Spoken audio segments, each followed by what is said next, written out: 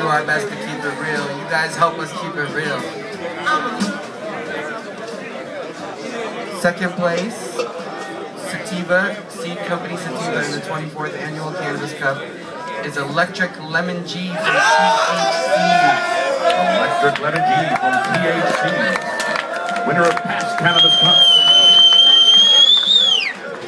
And known far and wide for their incredible events at the Cannabis Cup, including you're going to miss tonight.